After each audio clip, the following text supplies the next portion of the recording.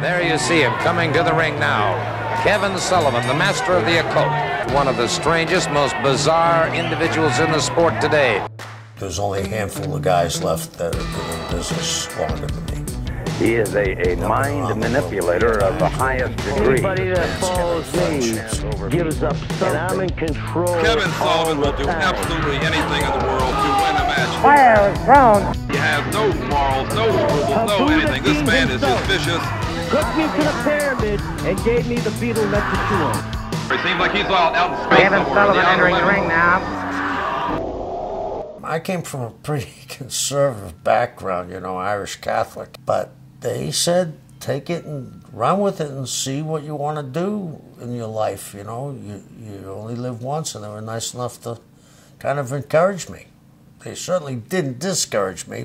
This is a picture of my great great great uncle John L. Sullivan, and that's John L. with the first belt given to uh, a boxing champion. That was from the Police Gazette. One of my favorite pictures. Andre, my brother, and myself. That was a friend of mine's restaurant in East Boston, and we came out and he's holding us like two children, and that's picture of Ali and I. Only guy that uh, ever ever was intimidated by by meeting him. He was something else. This is the only thing I have from the wrestling business. It's got Brody and Hansen were in the main event against White Wolf and Jay Strongbow, and I was on the one of the opening matches with Pete Sanchez. I wrestled as an amateur, and I used to wrestle at the Boston YMCA Union. It's a haven for amateur wrestlers, but I would see the pro wrestlers there working out with the weights and stuff. And a guy came up to me and said, "Do you want to work out?" I said, "Yeah," and I was working out with him. There goes a terrific arm lock, and Red Barry has a fist. So he kind of introduced me to pro wrestling, and I he brought me up to Montreal. I got a match there, which I wasn't even smart to what was going on. Kept on saying, "When are they going to tell me what to do? When are they going to tell me what to do?" Nobody gave me a finish, and I wrestled this Fernand Fichette.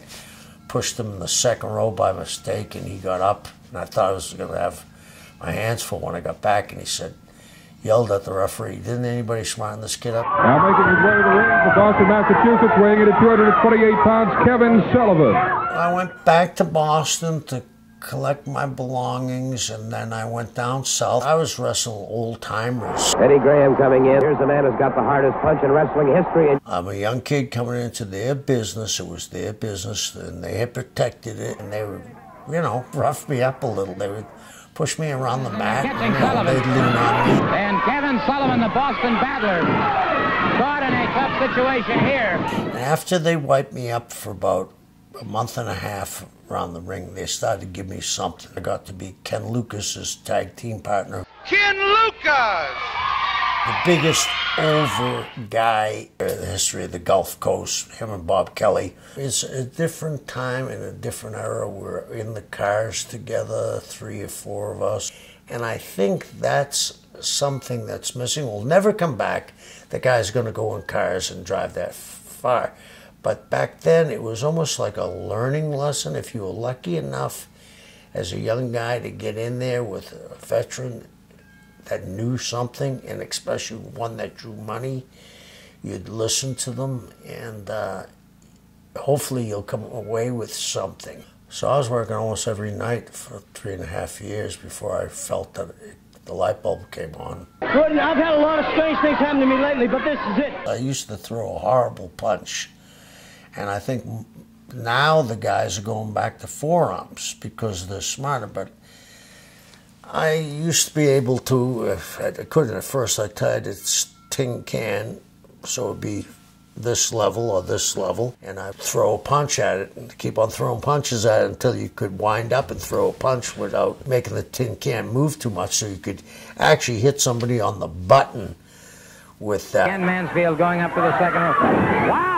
Sullivan caught him coming off a hard right haymaker. Another one. So you want to throw it and hit the can, or at least so it doesn't move. So you want to be able to throw it so it looks like it's on, so it's more of a distance thing that even though it's pre-range, you gotta protect it a little. Brock Lesnar's on top because people think he's the toughest SOB in the world. They think he's legit. And I think that goes back to when I was a kid and you used to go to wrestling matches. I thought it was all fake except for the Sheik. The strange man. The Sheik, and the Sheik puts him out on the concrete. I mean, I don't know how that equates in thinking, but that's how a lot of people thought.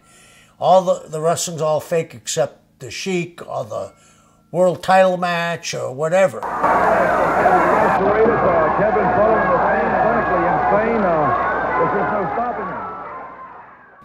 Got to book a time when I was in Florida with uh, Eddie. Uh, Tampa ran on Tuesdays. And the way they'd cool you off in Tampa was they wouldn't drop you on the card. They'd send you to Fort Myers, which ran on Tuesdays. So I got down there, and Dickie Slater and I were working. The referee came to Slater and said, Eddie wants you and Kevin to get together and come up with a finish because you're back in for a while. So Dickie and I went in the office the next day and said, uh, How long we there? And he said, Well, I'll give you six weeks, see what you can do. And Dickie and I started booking it together. We got to experiment in the town, and I'm sure the referee was reporting to Eddie where we were going and how far we were going. And I was around a lot of guys like uh, Gary Hart, Curtis, Lewin, guys that had booked and booked successfully that, you know, they would kind of show me which way to go. And Blackjack Mulligan, too. And it's going to be kiss you goodbye, Kevin Sullivan, because I'm going to end your career before this is over with. Another guy that was very influential was Vince Sr. At one time, nobody was in the room. We used to do the TV in the old Philadelphia arena where they did Rocky, the original Rocky. And I went and I looked at his book and I was looking at it, and he had a year booked, and he had Madison Square Garden. Uh, the top three matches from Madison Square Garden, he had all the way booked for a year. And I'm saying, how could he do this? You know, some guys are getting three matches with Bruno, some guys are getting one, a few are getting two. And I'm looking at this, and they caught me. Said, "What are you doing?" Said, "I don't know how you do it." And he said, "You want to learn?" He said, "I said, yeah." So he showed me kind of things. So the apple didn't fall far from the tree with Vince Jr. I don't care what anybody says. You don't put 100,000 people in a building if you don't know what you're doing, okay? I saw a match Ric Flair had with uh, Carlos Colon and Joe Frazier. Wound up and hit him just like that. Knocked Ric out. I thought it took his head off. Joe must have been playing with cans too.